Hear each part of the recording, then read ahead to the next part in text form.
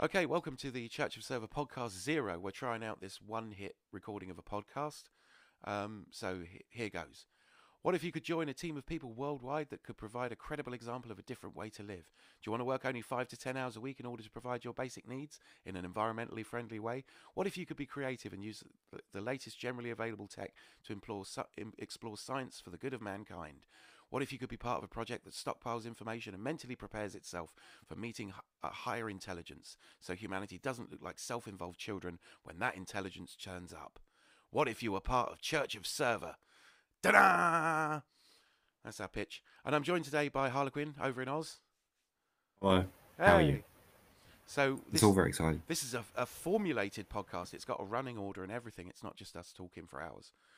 So uh, our first section is from the mailbox. So so far, um, we've had two emails in in the months that we've been putting this together and slowly letting the line out and seeing whether people are interested. So people like uh, uh, Digital Whiskey have helped out and been interested in it. There are a few other people that have expressed some interest. Avagdu sent us some updates for the Church of Server field manual, which we're still working on to see if we can get this one impactful document out to you. Um, that so Avagdu sent some notes for us, and Direct Current sent us a um, a logo for Tactical Librarian, which looks awesome.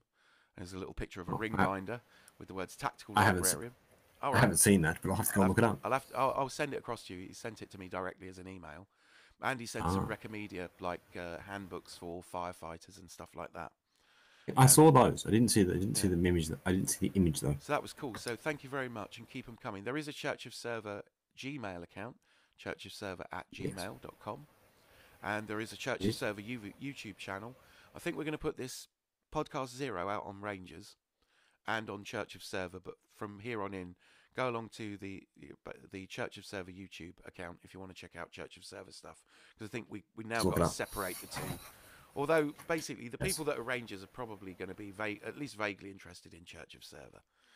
So At the very least, they're likely to think it's lower on a lot. but yeah, we definitely need you to send in your ideas. You know, so this is this is sort of kind of like a meta religion, a, a, a post religion framework for people of, of any stripe of religion, whether it's you know, or if you're an atheist, or if you're an agnostic. You know, the idea is that we don't look like dickheads if something turns up. Is essentially it. So that means looking at all the things that humans do wrong right now, if you like. And then sorting them out. Yeah, just giving people a sort of like here is a framework that works. You know, here is a lifestyle that works, so you don't have to worry. You know that you're damaging the planet just by your existence. Where you know, in a very sort of like a an actual workers owning the means of production type thing, not working your Mm. guts out just in order to be able to stay alive, and providing a decent pattern for other people to go. We could do what these guys do. You know, like when you look at the Amish and you think that would be great. I could totally live like that, but I don't think I could do the god end of it. Well, I have nice beards. That's Hmm. always that's always a start. I mean, I like the beards, but I, I like beards, so it's interesting. Tis, tis a fine Right. fortress monastery English, but tis no barn. exactly. Yeah, and we want we want access to that technology because it's just lying around now. That's the Yeah. stupid thing. It's just, I mean, all the things that we've, all the tech that we've got, you know, but especially me and Harlequin because we we both wash dishes. We're entirely the best people to come up with, you know, the expense level of this thing. There's always some middle class family that goes, "Oh, we went off grid." Well, how did you do that? Well, we took half a million pounds. What? and then we didn't. I don't have half a million pounds. I can't do half a million pounds? Yeah, we bought a big I don't have half a million of anything. We bought a farm. Did you now? Well, unfortunately, on my salary, they're not selling farms for twenty quid. So No. this is this is more coming from your working class because there are more of us than there are of them. Um, That is yeah. very true. So in in that vein, we keep seeing these really good bits of real estate that you think, you know, if we had ten thousand people, or twenty thousand, or hundred thousand, we could just buy this shit out of pocket change. We could get everybody to look Yeah. down the back of the sofa and go, oh yeah, we'll build another Church of Server commune. You know, I fancy seeing what would happen if you tried to build a Church of Server commune out of cargo containers. I, you know, and the Church of Server communes will produce media and say, well, this is our thing. This is day one of us building our think- thing. This is how much it's costing. Here are the books. Here's, Yeah. here's all the solar panels. We're getting Bob to rig in the mm. solar panels. We're not paying for electricity or water or whatever the shit is. So there's a, in New Zealand there's this weird commune that if you sign up you can live there. It's sort of like common land, which is amazing.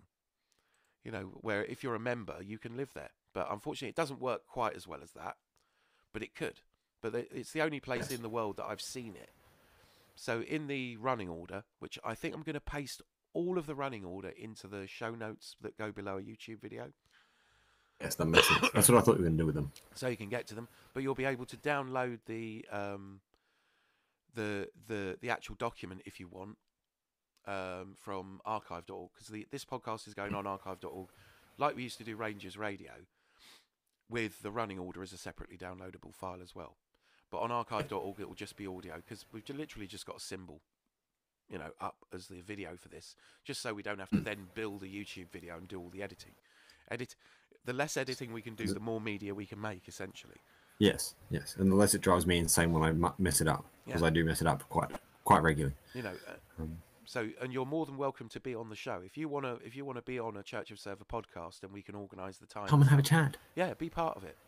It's inclusive. It's just that you know we wash dishes. Got just ha- time. It just has to fit around. It just has to around, fit around the world of hospitality and small child in my case.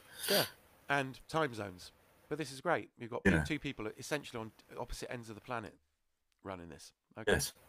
So yeah, so um, the YouTube link, uh, it's a Vice video about this guy Hmm. that lives on this so-called common land, which is a bit much to be Yeah. to be brutally honest, because it is stolen from the Maori, which is well out of order. Yeah. But you know, Interesting it's what it's a lovely done. idea in that nobody can own the land, and they sewed it Yeah. up so tight that some of the people that live on the land want to buy the land and own it and stop people from just moving in.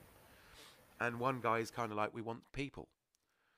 Yeah. You know, I don't know how religious movement works. You know, if you could prove that you had a religious urge to go and live on land that nobody owned, Mm. whether you could swing that by the New Zealand government, whether you could just go, "We are building a church." The New Zealand government, the New Zealand government does seem quite chilled out, apart from the last, you know, the last little bit. They're, they're quite they're quite common sense in their nature.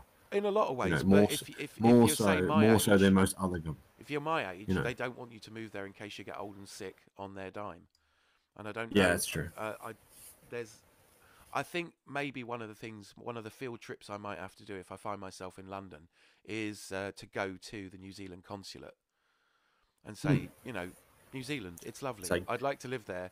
I don't have any. Can I I be a don't, I don't have a lot of money, and Yeah. but there's this place that I would like to live, and I'm part of this sort of religious framework or quasi-religious framework. You know, um, does does that even work? And maybe get them to Yeah. probably say no because I'm nearly fifty. Can- so the chance of me being they can only- New they can only Zealand say is no. increasing. Yeah, but it'll be interesting. But it, it it it does seem to be one of the nicer places on earth to live. Yeah. But Well, it's a very pretty place to but, start if, with. but I also want to go and, as part of this over the next year, is go and visit communes that still exist in the north of England. Yeah. You know, get in touch with them, ask if I can go and visit, and see. You know, but a lot of them that are listed on. Oh, and don't and don't forget, we're when you're sending you on an enforced encampment to the uh, to Throssel Hole as well. I'm sending you off to Throssel Hole to go and do your Buddhist studies weekend. don't forget, got- I'm sending you off to go and learn how to meditate. Where, where's that? Throssel Hole is in Northumberland, I think. It's up part near, it's in New, New, New, near Newcastle somewhere. All right. okay. Newcastle, England, not Newcastle, Australia. For everyone listening in Oh, that's- Australia. That's, a good thing. Yeah, I'll go do that. Um, yeah, but it's like they run weekends. Um, no, and you can go and learn to meditate. It's sort of like sitting on a cushion and not doing stuff. That's what meditating is. I'm good at that. Yes, we'll get to that in a minute. Not doing stuff. The not thinking is, is a lot harder. Okay, so that's how. Yeah, but everyone has real estate. I didn't put the gun fort in the Humber, which we could have bought if we if we had got this sorted out a year or two ago. It's been sold, unfortunately. Yeah. But Oh, what a shame. it's monumentally hard to to fix up. You would need people Oh. essentially living there to do it up. So it might come back on the market again at a later date. Probably everyone goes, probably for less money. Because you literally Yes. need uh, like half a dozen ser- to a dozen server monks to go there and paint the thing. Yeah. Paint it bright white and put the big infinity symbol on the side of the church's server. Hmm. Yeah. Build build Yeah. greenhouses for growing food and chooks in the gun turrets and stuff. It'd be great. I like that idea of a gun turret being. It's like it's like it literally is like the biblical the biblical point of like you know Yeah, the, the, swords the, the, plowshares. the swords into plowshares. There's that that moment in the book, and it's quite a nice moment in the book. Um, I in- still want to build that giant robots with railguns, but that's just me. I'm not saying we don't. I'm not saying there's no giant robots. I'm not saying there's no railguns. I'm not even saying anything like that. All I'm saying is it's a nice part of the, it, nice part of the New Testament. Yeah. Is it New Testament or is it the Old Testament? I can't remember where that bit is. Uh, In the, yeah, I don't know. I get lost now because I started reading the Tanakh and it's just like when I started reading the Tanakh, I got, got stuck in the whole world of like this is interesting. This is what Jewish people believe. Then I started having to read the Talmud and I'm like, this is even more interesting. This is what it says about the you know, this is what it says about these funny things in the tent that happened. Yeah. Because it all started making a lot more sense. You know. Yeah. But yeah, so Right. it would be really awesome if we could get like a shitload of people to just go, yeah, that sounds like a good idea. I'll put in a few Yeah. quid, and then we buy somewhere, and then we go, right, we got one, and you Yeah. know, somewhere where land is cheap. Yep. Um, Yes. Well, I did find I did find a nice farm on on King Island, which is in between Tasmania and Australia, mainland Australia and Tasmania, the island. Yeah. Um, and that was quite interesting. Um, but it came with the like it's on King Island. It was a bit shit because getting to King Island is kind of difficult. yeah, I mean, It's a know, nice place if you want to go and not find someone again. Yeah, but I'm I'm saying that if we if we do get an island thing, we are going to necessarily have to buy boats. Yes, we are. You're going to need stuff from the mainland sooner or later, a PO box, so you Yeah. can get stuff delivered and shit like that. So the Mm, the gun yeah. fort was going to require a couple of boats being moored very near it. Yeah, very near it You to know, make it work. You know, extra costs include putting a mooring buoy down. Yeah. I think they cost about you have to pay about six hundred quid to get your own mooring buoy installed when you have it, you know, significantly far away from the gun port and you have a tender. You know, you, you, you run people to the gun fort and, fr- and back again from, from the sailboat. Yeah. Yeah. But yeah, I do like the idea of a sailboat though. That's a funny idea, isn't it? sailing's pretty good. It makes a lot I of like sense. sailing. There, there is a there is there is a reason that Well, it's free, isn't it? Sort of. It's like you, as long as the boat's in decent repair, yeah, I like mean, you know as long as you know like you can dry dock it somewhere where it's like you know you can sort of sleep on the boat you don't really like you've taken your you've taken your house with you wherever you went and then you put it back in the water when it's fixed then you go sailing around again But you know, Anyway. once, once you got, I mean, the gun, the gun, the gun um, emplacement had like its own dock and stuff like that, so you Yeah. can actually tie up a, Yeah. a couple of boats to it. But you've also, Mhm. you, when you get a boat, you're also creating more living space. Yeah. You know, Yeah. because I mean, really, a sort of okay boat that doesn't have a lot of equipment on it is only going to cost you a couple of grand. You could buy a bunch of them, put down mooring buoys and graft them together so they're all tied together, and then you've got another chunk of living space and essentially a Hmm. navy, which is also fun. Yeah. So yeah, Yes. so we so if you want to contribute or you want to send in links and stuff, interesting real estate that we could theoretically buy is another thing that you could send us. If you see somewhere like, you know, huge warehouse for sale for one dollar in Detroit, yeah or or 500 hectares of alaskan Alaskan tundra yeah, or something. i like the or idea of alaskan tundra Yeah, we'll just build underground. Yeah. Oh, and yeah, so th- that's really, re- that was really, really super indus- interesting. You know, so we're very interested in that sort of thing. Um, okay, so we'll go on to Reccomedia. okay then So, so the first bit of reccomedia first bit of reccomedia was um hardcore zen by brad warner um which there is a there's a link to the um, there's a link to a copy of the like the details of the book and there's a link to a documentary about brad warner you can find the book if you have a half decent look around the internet um it's an interesting read because it's brad warner's uh was famously a punk um, of the sort of like late 80 uh, yeah late 80s early 90s genre um, in america and then went and traveled across to teach english to japanese teenagers in japan under the jets program the japanese Ent- uh, enterprise training program i think it's called. But anyway uh, under the japanese education program. And he had learned about zazen at university um, he learned about um, Zen Buddhism through university, and he sort of studied bits and pieces in America, and then he gone off and, and he's become now a, um, a certified, uh, you know, certified uh, teacher or certified priest in in the Zen tradition. Um, and his little, the interesting thing is, is that he comes under one of the specific brands of Zen, which is like very out there compared to other brands of Buddhism. Um, so there's not a lot of like, you know, like gods and monsters, and there's an awful lot of like just sit down, shut up, and, and do what you need to do to get your head sorted. And you getting your head sorted is literally you just sitting down and taking 10 minutes in a day or taking 20 minutes a day and just doing zazen. And zazen literally just means sitting down and not talking and not trying not to trying not to think. You will still think and thoughts will still come up in your head. And why I think that's important and why I think you should go and have a read is it has some really good explanations of. Um, Brad explains really, really well that process of doing zazen, of doing meditation. Um, and I don't think that meditation meditation isn't a Buddhist thing. Meditation is a thing that's been, been has been proven um, by a bunch of psychologists in a range of different studies to basically mean that it is good for you no matter who you are. So it doesn't matter what ilk you are or what you are doing. If you go and take 10 minutes and you go and sit down and you go through mindfulness training, you go and do some mindfulness and go and sit down and do that thing, that's going to make you better cognitively and, and improve your well being as a human being. And it's the easiest thing in the world to do because literally you get a pillow, you sit on the edge of the ass crack of the pillow, or you sit on a chair if you can't sit on a pillow on the floor in, in cross legged, and you just let the world sort of, for the want of a better term, fall away and try and let your thoughts clear. And when a thought comes up, you just let it go. Um, but the, anyway, Brad has this beautiful, he has some really, really wise words in his book about how to do it and what it means and what it is type thing. Um, so that's the first bit of Reccomedia. Um, yeah, the second one is um, I found um, one of my maths, one of my majors at university is mathematics, and so you're like, why the hell are you going to university to study mathematics? Because it's interesting. Because I find mathematics interesting. It's all got to do with neural networks and AIs and bits and pieces like that. That's why I do maths. Um, there's uh, the first year undergrad. Someone published the first year undergrad. It's one of the universities in America published the first year undergrad discrete mathematics course, um, and it's about they're about sort of like you know between six and twelve minutes long and they're just really, really interesting little bits of discrete mathematics. Discrete mathematics is different from normal mathematics in that you don't do a lot of adding up in it. It's more about logic. Mm. Um, and there's a really interesting part in one of my logic books that turns around and says that a three-year-old can do logic.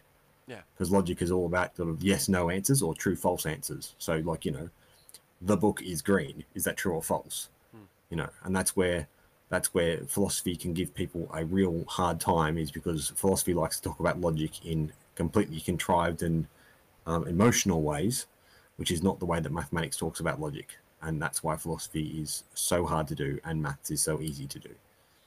Um, yeah. Um, and the last one, do you want to do the last one? Yeah, the, the, last, the last one? is this guy called David Graeber, who sort of um, is one of those rock star um, philosophers and eco- economists that's written a very popular book called Bullshit Jobs. But he also wrote um, yes. a, a, treatise called A History of Debt, which is how yeah. debt is used to sort of crush people and make them do things. Yeah, and it's, it's it's the premise is explaining how debt, like how how debt was formed, and it's not the way you, you know people think that economies were created through barter and then this and then da da da da, hmm. and Graeber calls that and says, "No, that can't. That doesn't happen. That isn't how it works." And he and he, I'll let you go and watch the video, but it's an interesting process. He goes through this sort of like thought process and says, "No, no, no, no, that's complete baloney. We all, we, you know, that's not obvious." You know, the far more, the far more um, Occam's razor version of this is like, you know, this is how it works, and it's a very, he's very poignant in what he talks about, but he's also very, very interesting in terms of, um, in terms of what he's talking about and how people should understand how debt works in a modern capitalist society um, and what it means for the people in it. Yeah, I mean, um, there's a. I'll have to put it in next week's Reccomedia, but there's an interesting um, guy who did a talk about that was supposed to be about hexayurts, but it was in fact all about um, land ownership. Because he was saying basically anybody can build a hexayurt, anybody can build a house for themselves. We've got the designs now. All you've got to do is cut out, you know, so many triangles of uh, plywood, and you've got a house yeah. is where you can put that house. And he went on about basically the Norman conquest began in 1066 and they haven't left. Mm. You know, we're still under that kind of pressure and talked about the concept of mortgages and stuff like that and went into the whole meaning of the word mortgage, which means stranglehold. Mm you know so we're taught that we have to own a house we're taught that we have to you know and it's all this bollocks about where we live and status and stuff like that and for which we're enslaved for most of our working lives if not all of our working lives to get that sorted. So i'll look that out and find that. It's from the 2014 i think. Um, emf it was a very good chat. Mm. but yeah Okay, so that's our Reccomedia. We don't want to give you sort of like too much to go and look at. Everybody's got stuff that they got to do. Um, the next section is how far we are personally along, because we set out some some zero funds things to do, um, so that you could be getting on with stuff. If if if the Church of Server appeals to you as an idea, you can get on with stuff on your own because there's no formal structure to it yet. There's not anybody that's in charge of it. We're trying to get to a point where, you know, you don't need anybody to be in charge of it. The idea of a of a node of server, you know, if you cut off the the network to a node, it's still got a, a, quite a lot of functionality to it. So this in the last couple of weeks, I joined the local library, which I think everybody should do. If you if you're lucky enough to live in a country that has local libraries, their funding depends on um, there being loads of people signed up to the library. Um, and they're just such useful places. Also, if you've got no internet access or your internet access is really crappy, libraries have very good internet access in the UK, definitely, and I think the same's true in the US. It's definitely it's definitely true over here. Yeah. Um, I tried to get a a sort of kind of badge of server, and I saw this thing on eBay called a Wi-Fi USB stick, and that was a complete fail. But the idea was that you could you could wear a Wi-Fi USB stick, B stick, switch it on, and then anybody could access the contents of the stick. So you would essentially be a network node just by being there. You'd have a stick full of useful books and stuff that were I, hopefully copyright free that you could just hand out to people. If they had a phone or a, a laptop, they can access it, but we can't do that. Um, not with this stick. We'll have to do it with a uh, with a Raspberry Pi or something like that. Still, hmm. Um, which is a shame because it makes it more complex. But it's interesting because yeah. it, you know, it's it's interesting because the experiment failed. Yeah, it's not a negative. So I I and I also I'm also waiting for two tiny non-moving part components for my new video rig. Why is it always the bit you need that it's, turns up last? It's just this one bit. I could do it, but I'd have to I'd have to basically drill holes in the side of um, the waterproof enclosures, and I'm not entirely sure I want to do that. I think the waterproof enclosures could work out be end up being quite useful. You know, if we ever do filming Yeah. outside and the weather's crap.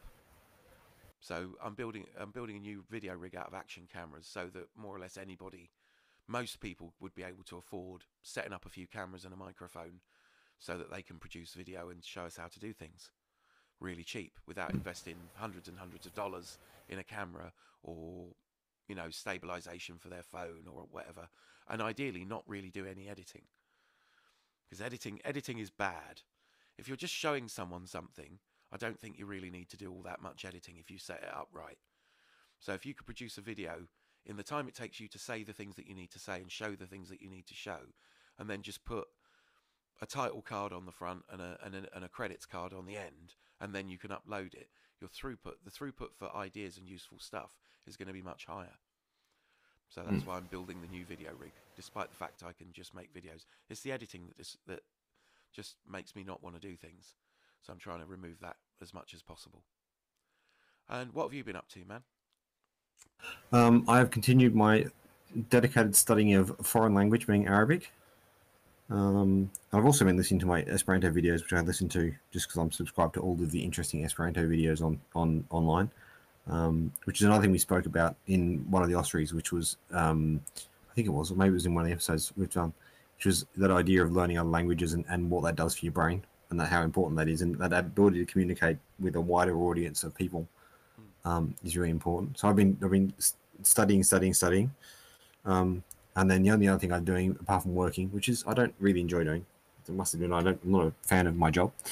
Um, I only do it because I get paid. Um, I have magically today I actually got my camera out for the first time in about a month, and um, and decided to take me with it to work. And I was like, I will go for a walk because I won't get anything else done anyway, and I'll have to go for a walk to get out of going for, going to do extra work while I'm sitting around at work. So I took my I took my camera down to the uh, down to the creek and started taking interesting pictures, and worked out that I had I think I've got I've got that prob- same problem you have. I have all the bits to build my stabilization rig for the for the Canon, um, but I don't have the nubbins that screws into the bolt at the bottom. Is the bit I need. Yeah. I need like two T-piece um, connectors out of the whole thing. So my journey for tomorrow was to go up to the uh, hardware shop under the proviso of buying something for work, Yeah. and um, and go and get some T-pieces. You may notice there's a lot Um, of stress my- on, on actually creating media and input and stuff like that. Um, Yeah. So, but we are. I mean, the reason why I was You know, Yeah, the, the reason why I was basically trying to get the camera working was to get more, have more interesting background shots. So when I wanted to record a podcast, when I wanted to record an audio bit, and I wanted to put it on YouTube, I had something that I didn't have to go because it takes an inordinate amount of time for me to download stuff off the internet, um, even if it's just stock footage. Um, and most of the stock footage I find isn't particularly relevant for what I'm talking about, and I don't want to look at it. and also a lot of um, which not, means that- not which- free. There's Yeah, and I, like you know, if it's not free, then I'm not, I'm not going to use it.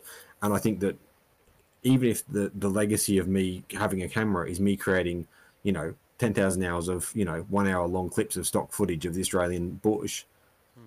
then I think that's a positive thing.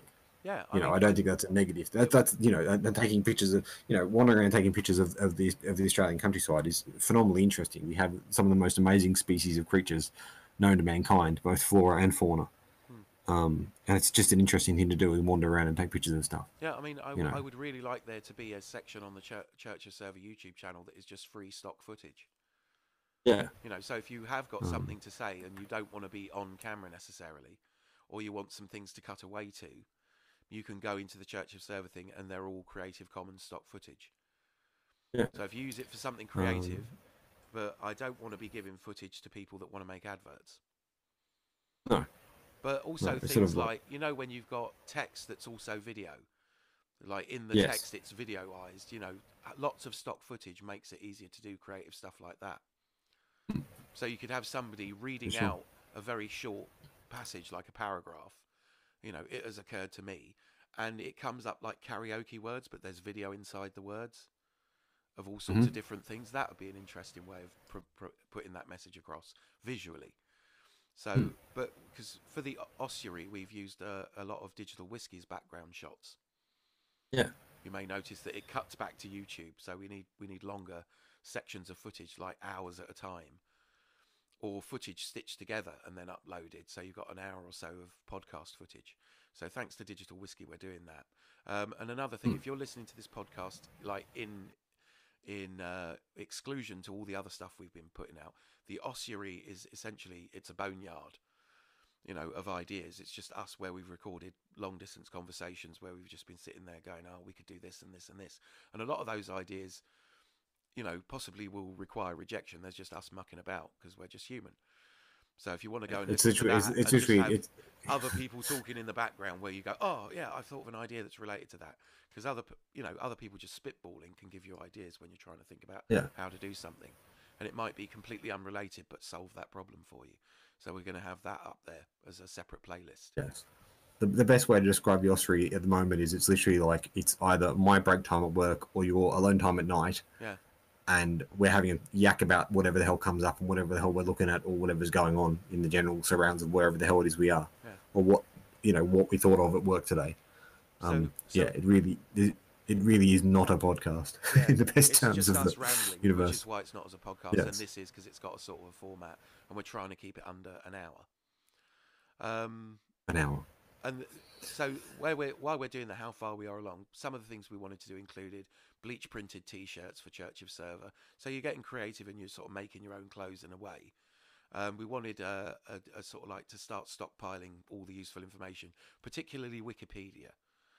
We're, we're trying to figure out a way to make Wikipedia shareable in a in a in an immediate location. So if you're there, you as a church as a as a as a node or a monk of server, whichever you end up wanting to call yourself, or a nil or a null, you know, wh- whatever word you you choose to call yourself, we haven't really nailed anything down yet. Or a tactical librarian, you can share that information just by dint of wearing the jacket that you're wearing or the robes that you're wearing. You've got it clipped to the front of your robes, and people can share that information so that information is wandering around in, in embodied by the the people that want to be part of Church of Server. Or if you don't, even if you don't want to be ch- part of Church of Server, that would be a cool thing. Um, what else did we come up with? Possible construction of robes, building of web servers from junk PCs, buying um, electronic equipment more second-hand so that you're not creating, you're not basically encouraging companies to make zillions of versions of the same thing and just having less of an impact and maybe exploring vegetarianism and veganism or at least uh, have living a more meat-free diet because as humans we we're not meant to eat this much meat that we currently eat you know, it's, it's causing obesity and it's causing us to destroy the planet for grazing land and land grown to um, feed cattle and other animals that we eat and we treat really badly. So I'm giving just- I'm just giving- on that point, I- I was- vegetarian thing a lot of thought. You know, it's just Yeah, just on that point, actually, I found an I was listening to something or other. I don't know who it was. I was listening to it. Was it, it was on YouTube, and I was listening to a thing, and it was talking. Oh, I know who it was. It was the guy who wrote um, Feral. What's his name? I can't think now. He's a, he's a very undedicated vegan. Anyway, he was talking about this. He was talking about this this idea, um, and he was saying that um, land use. He was talking about land use in England. Yeah. And he was saying that in un, in in the U, in the UK, something like 40% of land use is put aside for um, sheep farming. So whether that's mutton, lamb, or sheep, or what's the wool. mutton, lamb, or wool, and then there's another word for sheep that isn't sheep. That's like lamb and mutton. Hogget, huh? Hogget. See, huh? Yeah. farming coming back to me there. Hoggart. Oh, clever like him. how, how Um, do you spell so that? yeah, H O G G A T, I believe. All right. So like yeah. sheep products. Yeah, it's like sheep product that isn't like edible to humans or isn't. It's older than mutton. I think is that how it works. I don't really know. I, I think it's old female sheep. Is how it works. Mm. Um, but anyway, he's saying that forty percent of the of the E of the UK is held up in in in terms of um, land in terms of sheep production for whatever reason that is, but only and this is only one part of it, obviously, but only um, zero point four percent of the UK diet is actually um, based i based off of sheep. Yeah, I don't eat. So you have forty percent. Well, no one does. That's the problem. But forty percent of the country is taken, like forty percent of the whole of the U- UK is taken up just by keeping sheep that no one eats. I wonder how much And I- I like- dog food and cat well, that's that's what I'm wondering. Like an awful lot of it must go into wool, right? Um, you know, but then how much of that then how much of that then like mutton and hogget is then going into like dog food? Um, and you know, where's that going otherwise type thing? Because that's another thing I um and then from that I was having a conversation at work because one of these things I am one of the three vegetarians at work. I work in the kitchen. This is quite entertaining to most of the other people who work in the kitchen, you know. And we were having a conversation about um, getting uh, a couple of heifers slaughtered that were um, they've been raised by one of the um, chefs at work, and she was trying to find someone. She was trying to find a um, a, a mobile butcher to come around and actually do the do the slaughtering, hang them up, and then come around and cut them up, put them in the freezer for her. Yeah. Um, you know, and as much as I don't want people going around eating cows, I think if people are going to go eat cows, they should do it that way.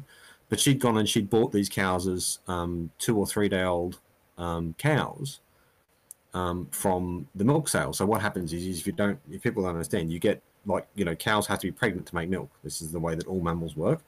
Um, so what happens is, is when they have a cow, if the cow is, is doesn't make a female cow, makes a male cow, they take the male cow out and they sell it at like three days old. So they get it so that the cow is making enough milk, and then they basically start like pumping milk out of the cow, the mother cow, to make more milk. Yeah. Okay. And then they take the female, they take, they take the male cow, and I didn't realize this. I thought most of them went like you know into basically into making herds of like grown up beef cattle, Yeah. and it, that isn't the truth. Okay, like ninety percent of the of the cows that are basically sold as three day olds, about ninety percent of them actually go into the dog food industry. So, and I find like I don't know, I find that a, a weird idea in the fact that you would like let an animal live for three days and then you would basically put in a slaughter out slaughterhouse at three days old and cut it up for dog food. Yeah. And I, what did me was it wasn't actually the matter of that that process of happening. What did me was it's like why the hell aren't we selectively breeding cows so they make females, and why hasn't someone worked out the hormone response for cows so you can just turn it on and make them make milk instead of having to go through like laboring a cow and then making a cow and then doing the next thing type thing. Yeah. That was just like why hasn't someone worked that out? Well, anyway, that was a is the di- thing, I complete mean, digression. If you told me 10 years ago that I would be looking into becoming a vegetarian or a vegan or, or at least mostly eating more vegetable pro- produce than meat, I'd have laughed at you. But when you actually look into it, it's such a destructive industry. Even milk. Oh, yeah. It's just like, there is vegan cheese. Why is it so expensive? You're making it from vegetable products, so you don't have Yeah. to do all this whole animal product thing. Yeah. Why can't you make it dirt cheap? Why isn't it cheaper than cheese? If all you've got to do is grow vegetables, your actual per acre of the stuff that you need to put into cheese, it's got to be way lo- lower cost. Way less. Yeah. So what? You know, That was the that was my that was my other find for the week. Then was I was going around. I, I was buying my buying my my coconut my coconut yogurt in the supermarket, Yeah. and uh, and I was reading the back of the uh, labels of the yogurt because it's one of those things I like to do. You know, a bit of an OCD freak. Like to read all the back of the labels, and I was like, why does the coconut yogurt taste so sweet? Is there like heaps of sugar in it? And I'm like, no, it's like bugger all sugar in it. That's amazing. Like, there's no sugar added to it. It's literally just coconut milk or like coconut kernel ground up and then you know made into a paste or milk um, or a drink, and then it's just had a, bac- a bacteria like it's had lactobacillus added to it to make it. I think it's lactobacillus to make it into yogurt. So basically, like lactobacillus is just eating the carbohydrate and then turning into yogurt. And I went and started looking at like the Greek yogurt, which is like the cheapest one. And the, the coconut yogurt was actually cheaper than the Greek yogurt was, and the coconut and the Greek yogurt had a shit ton of sugar added to it. And I was just like, that's really interesting. Yeah. Because I wouldn't have thought that Greek yogurt should be sweet, but it still has a, a metric shit ton of um of sugar put in it. But it's not sustainable. And if we are if we are going to sort of like build No. these monasteries, they need to be completely sustainable. Yeah. You know, this is kind of like okay, well, it's vegan. I mean, imagine you know, sort of like if if it takes off and you because one of the ways of generating money for equipment and so people aren't skint, which I don't want to do. I don't want people to have to give up all their worldly goods. I don't want people to not have their own room. I don't want people to not have their own stuff. But I think the process of doing the whole church of server thing is um, is so that we can live in a way that we can live with.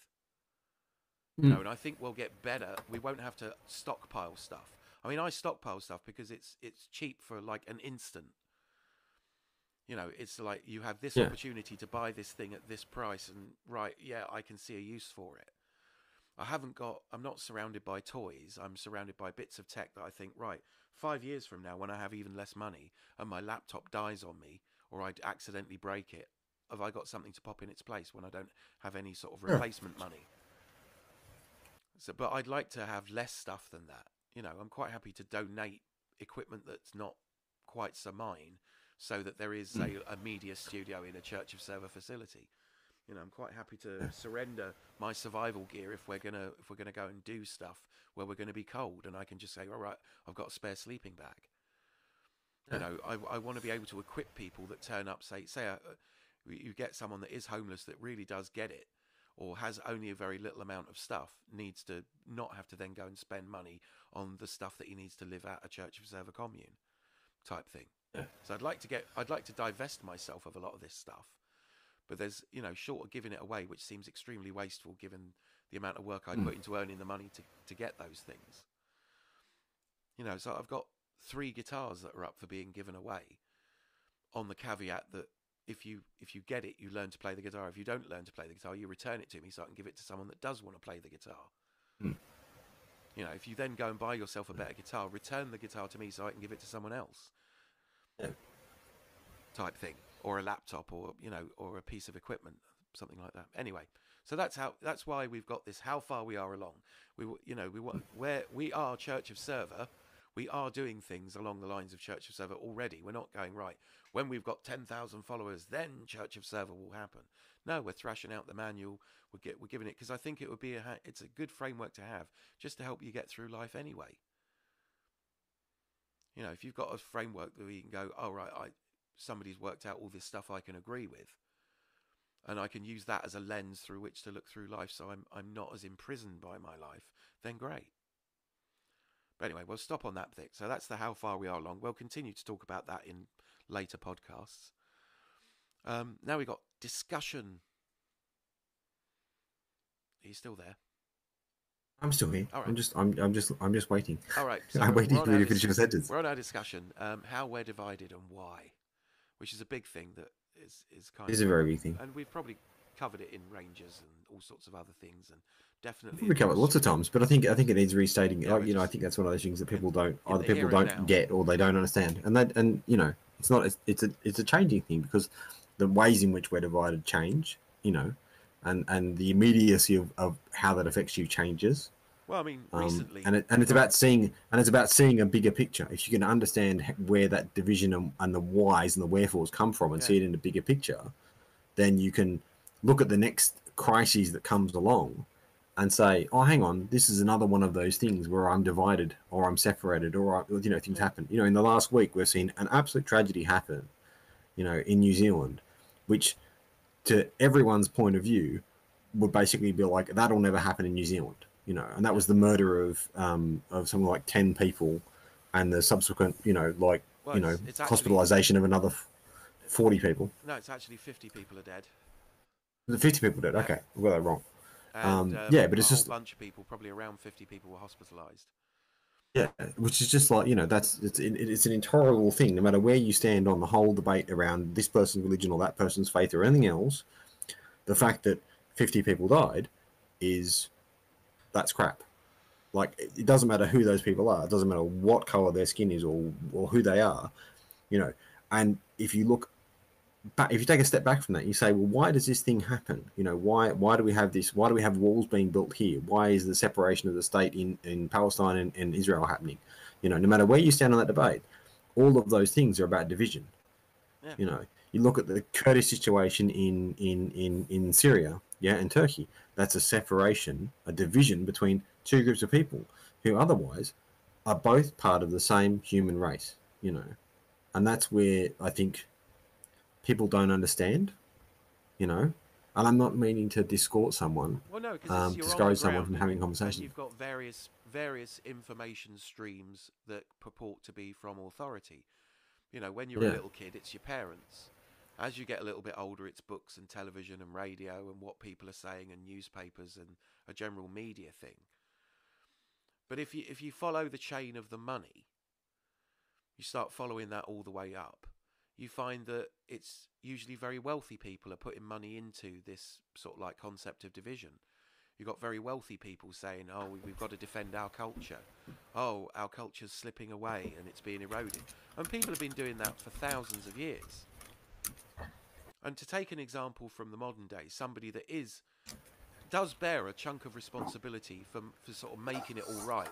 And we've seen a sudden spike in very right wing, if that's even a thing, terrorism, where white people go and murder people they don't agree with, like the guy that was sending bombs to people that Trump didn't like in America. You know, like the English Defence League in the UK and UKIP creating divisions. I mean, a major division in the UK is, uh, is an all new division. You know, it's the people who voted for Brexit and people who voted against it. And that's divided the country. Like, I have to suspend that division. I have to literally put it to one side when I'm talking to people. Because otherwise, I wouldn't have any family to talk to. My entire family voted for Brexit. My best friend here in the UK voted for Brexit. And I don't understand why. You know, I, I just don't get it. You know, fair enough, it's another layer of government, but really, there are so many layers of government, one more or less isn't going to make a difference. And this one's going to have lots of harmful effects. And if you follow the money back up the chain, it's always the super rich that are pushing this division. Donald Trump goes, Oh, these guys, blah, blah, blah, blah, blah. I don't like these guys. And then when a right wing, for want of a better term, Nazi, drove into a crowd of anti Nazi protesters and killed someone, his response was not, This is a tragedy. His response was, There were good people and bad people on both sides. You know, there's a reason that in that man's bedside drawer is is a, a basically a copy of the speeches of Hitler. It's the only book he has, apparently. How that makes you re- uh, able to be a prime uh, a, a president of the United States is completely beyond me, given how multicultural it is. And it's and, and these divisions are fake. You know, these divisions are based on skin tone, which is fake because Donald Trump will still do deals with people in Saudi Arabia, will still do deals with people in Japan and China. He doesn't care what colour of skin they are. And then there are divisions on gender and sexual orientation. That Trump would have no problem dealing with a super wealthy woman or a super wealthy black person or a super wealthy gay person because they're super wealthy. He's protecting the super wealthy, the 1%. The 1% are funding this division. You know, every single time, if you trace back who's in charge, it's always millionaires and billionaires that are basically, as, as long as we're fighting each other, we don't go, hang on a minute, why have you got all the money? What, what sort of right have you got? And also, those people that encourage violence can't by default believe in any God, yet they set us up against each other from a religious standpoint or a cultural standpoint. Yet those people will never have a problem with dealing with people of different cultures and different religions. But the super wealthy of every religion have only claim to be part of that religion because the, all of the religion, religions say that you've got to look after the poor and the helpless and the needy. Every last one of them says look after the poor. You know, there shouldn't be poor people. If there are people with billions of dollars in their bank accounts, then the only way they can have got there is by underpaying the people that work for them and not sharing out the, pro- the vast profits that they're making from their businesses. The moment you employ someone, you are um, basically using their labour and not paying them the full value. You're cheating people out of their work the moment you're making a significant profit. You know, if you had a business where everybody got the same pay and you said, right, okay, um, you know, well, give out bonuses to the people that worked hardest or worked most effectively, maybe, maybe that could be a thing.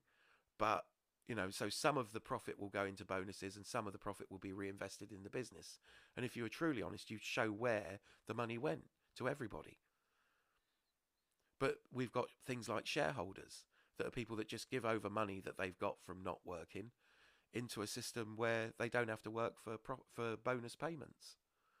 So at the moment you have shareholders, the whole idea of not an you know, okay the company. whole- You know, theoretically you could have investors, but if the investors got uh, like their money back and a profit or a sh- a a reasonable share of the profits, like if they put money in and you worked out the amount of labor that that was worth and then you bonus them or you gave them profits accordingly then that would be fair but it's nothing like that it doesn't even pretend to No, the problem fair. is, is that it, it doesn't it doesn't even cover the it doesn't even cover the the the environmental cost and the labor cost of the person who is actually doing the work. So you get you know, situations that's- where people are literally wasting money in front of poor people who can't ha- don't have enough to eat or don't have anywhere to live or can't send their children to school. And you're creating that disparity. Because when there are super wealthy people certain things cost a lot more. Because there are super wealthy people that will pay it if poor people won't. And you, you basically we're, we're coming to the end of a, of a cycle of humanity where people can get away with that and people are getting pissed off with it Yeah. you know it is literally all this division is to make wealthy people wealthier that's it it's not a conspiracy it's not some mad religious um, sort of wave of, of trying to wipe out the people of the other religion. It's so that the wealthy can remain wealthy and powerful. Yeah. The situation in America where Yeah. you can essentially buy an election if you've got enough money invested in it is ridiculous. The situation where you've got millionaires and billionaires running any country and helping out the people who, who you know, helping out themselves essentially. You know, the interesting thing about the tax breaks in America, because America has just become one of the most publicly corrupt countries. There are other corrupt countries in the world. I mean, if you've got basically a bunch of people that have walled off a section of planet Earth and said, this is ours, by which we mean this is this belongs to the wealthy people in this geographic location, you've got corruption. It's immediately corrupt because we're all human. And all these divisions are created so we think, well, at least we're not those guys. Hmm. You know, you've got white people looking at people with different coloured skin going, well, we're not these guys. We're not immigrants. We're not, you know, believing in this superstitious belief that, that's not like our belief. We're not committing heresy by believing a different thing.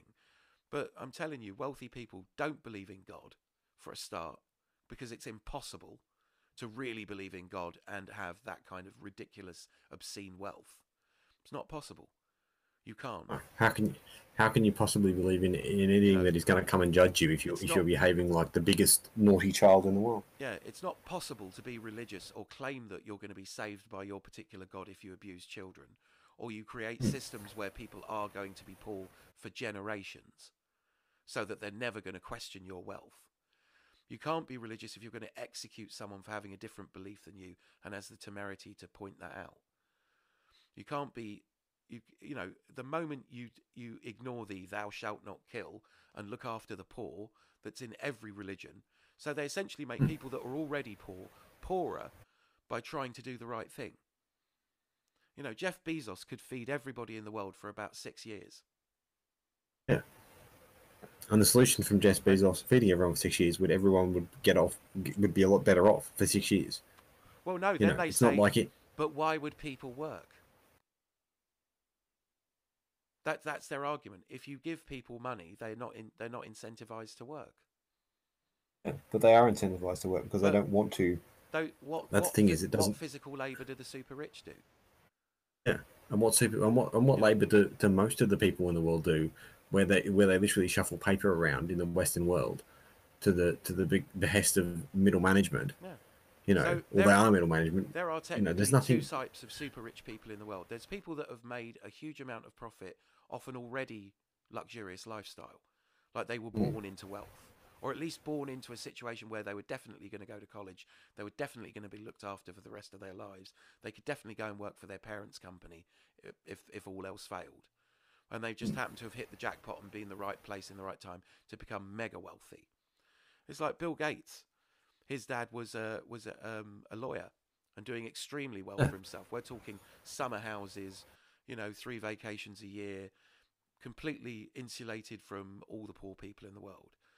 You know, Steve And, Jobs. and let's not the fa- and let's not forget the fact that he basically stole stole the operating system that, which he quote unquote built. Yeah. He basically stole that whole operating system, copyrighted the damn thing, and then started suing people for, for stealing his ideas, yeah, which weren't his ideas in the first place. A, a multi-billion-dollar company without Windows, and Windows is stolen Yeah. from Xerox, and then Apple tried to sue them. I mean, uh, Steve Jobs and Steve Wozniak, possibly people that have made money, but in order to make that money, this is the second type of person. They have had to oppress the shit out of the people that work for them. Yeah, You know, for the, sure. the Apple II maybe is an example of something that was built by people and then they raised the money to manufacture it. But since then, it's just been hire a load of people, work them to death. Yeah. Essentially. You know, exactly like super wealthy people do. And not give them the, and not give them the means to their own production, which is you know that that's something that comes up in in in, in a lot of theories.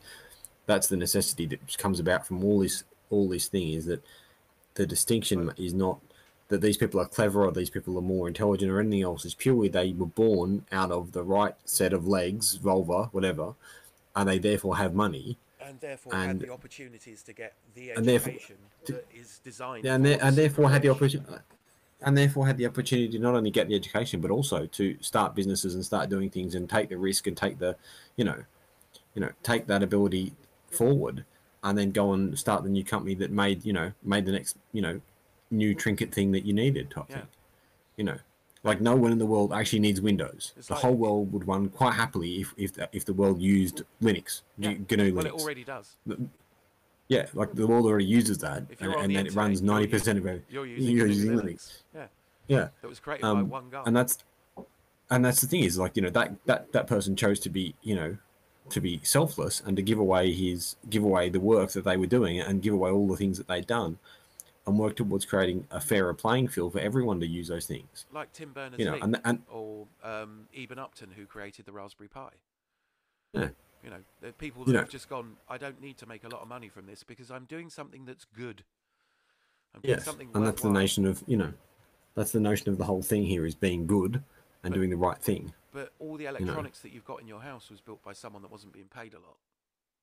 Yeah, and that's the thing is those people those people live in a you know if you bought a brand new computer, hmm. then you're basically supporting people you know living in in domicile housing, which is which we would consider to be slavery Yeah. in a third world or you know developing nation for want of a better term, third world nation, developing nation, whatever the hell you want to call it. You know, in China, in Southeast Asia, those people live in in um Squalor, in Unnec- yeah, in- in discussing squalor. if you you know if you buy clothing that comes from Bangladesh or Thailand or Vietnam or all these other countries type thing, if you're buying clothes that come from those places, then the women who are basically living in, in squalor and living in poverty in those countries don't have a real life because you're choosing to subject them to to making things.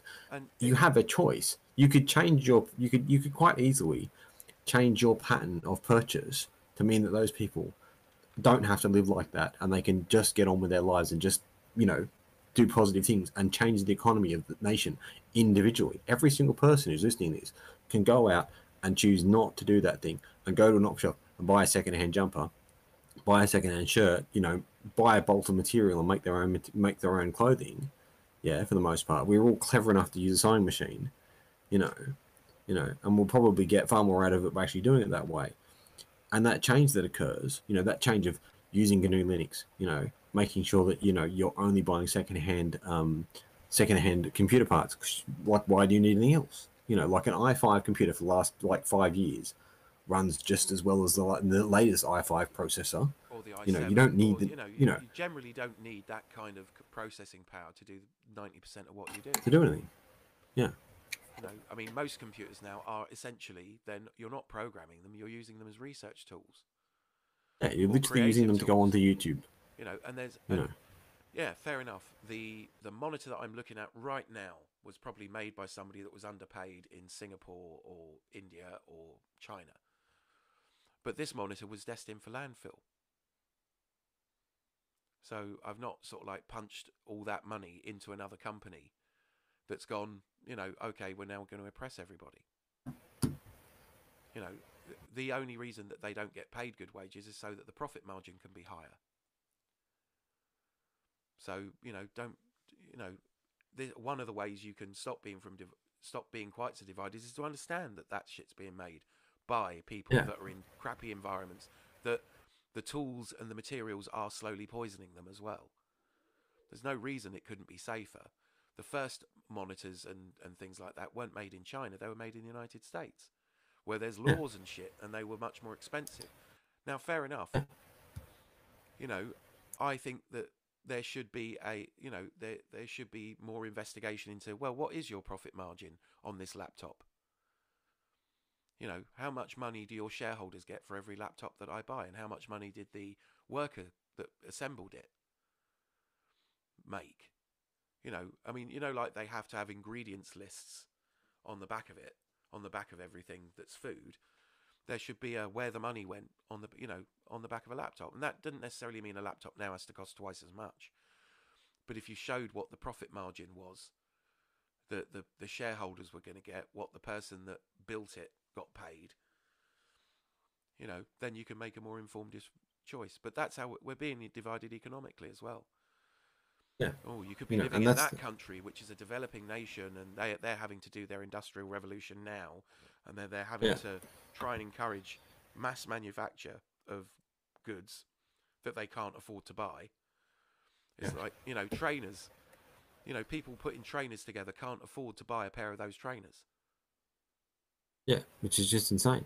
You know, that's that's just a stupidity. And, and instead, you can go and buy a pair of, you know, oh, you know, German boots made it made by people in Germany who I can guarantee you are living, you know, much nicer life. Yeah. That will last you, like you know, ten years, like my last pair of German walking boots did. You know, and and you don't have to feel bad about it. And okay, you have to probably pay an extra, you know, fifty pound, hundred dollars, whatever it is, to go and buy a pair of like good quality boots that are going to last you that long. But if they're going to last But- you 10 years and you're going to wear them. if they're going to last you ten years instead of instead of lasting you like you know maybe six months, if you buy a cheap pair of like you know you know insert brand name here, you know shitty crap, you know um, sneakers um, or trainers, then sure you just paid for that in and of itself. You know you weren't supportive of the organization, you weren't supportive of, of that model of business. You know you were supportive of a positive model of business, um, and you got a benefit out of it. You know you could you yourself can see the benefit. Yeah. Type thing. Okay, so we're getting up to 58 minutes. We're just gone past 58 minutes, and we're trying to keep this Everyone down to an hour. So yeah, uh, obviously that's a topic that could be hours and hours of discussion, and we'd love to Hours hear, hours. hear your, your thoughts on it. Contribute, be part of it. Um, Yes. I included a homework segment, which was a, like a I, I want to include some kind of thought experiment. So you just you know if you've got five or ten minutes, just and you've got nothing better to think about, here it is. So if aliens turned up, could you defend human bigotry in any meaningful way? Now, I'm not saying that you're bigoted, or as, as a listener, I'm not saying that you necessarily know anybody bigoted, but bigotry exists. So if, if, if somebody turned up and said, you know, what's all this with you picking arbitrary reasons to dislike each other, could it be defended in any way? Um, so that's us wrapping it up pretty much. So um, I just want to remind you of the Church of Server YouTube channel, which just put, put in Church of Server into, you can even put it into Google because it's it, that's what comes up Comes up. and the email address is churchofserver at gmail.com. And yeah, we want your contributions. We want to hear from you and do stuff. And we want more people on the show. We want, you know, we can set that up. So this has been Yeah. Church of Server podcast zero. So I've been V, And I've been Harlequin. and we'd like to hear from you. Good night. And have fun until then. Yeah.